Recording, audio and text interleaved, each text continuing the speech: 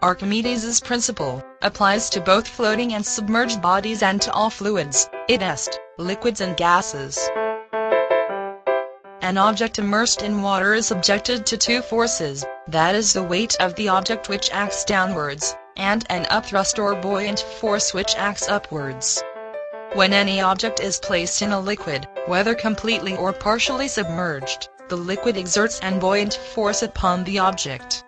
An object which has a density less than the liquid in which it is submerged, will be subjected to a buoyant force which cause the object to float on the surface of the liquid. For example, a ping pong ball is pushed below the surface of the water and released, will immediately rise to the surface.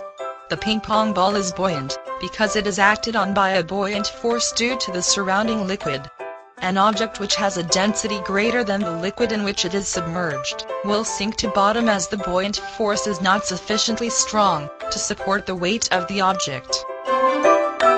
When a piece of stone is lowered into the water, the water rises and the spring shows a reduction in weight. The weight of the stone in water, W2, is less than its weight in air, W1. The apparent loss in weight of stone is caused by the buoyant force of the surrounding water on the stone. When an object is placed in water, it is found that water level rises due to the displacement of water by the object. The objects displace the same volume of water as their own volume.